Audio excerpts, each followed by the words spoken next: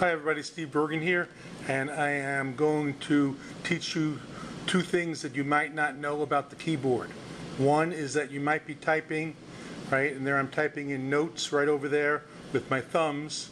If you take your two thumbs and you click and drag, you can separate them into two baby keyboards so that you can type with both thumbs left and right.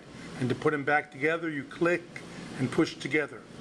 Once again, when you're typing with the keyboard and I'm holding it in my hand like this, I can press with my thumbs, I'm pressing, and now I'm pulling apart, and it's like I've ripped the keyboard in half.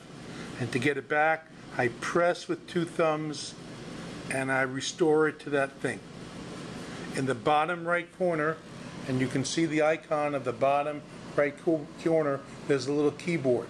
If you click there, right, that tells you in that bottom right corner, if you click and hold, you can also split if you don't want to do the thumbs trick.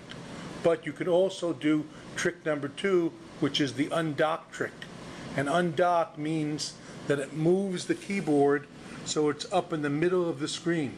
So the keyboard is no longer right there in the bottom, it's in the middle, and you might say, why is that advantageous? But if I'm carrying this around in the classroom and I'm trying to type or do check my email or do something, it's easier to hold it and type with my thumbs or type yes or no than it is when it's in that other position.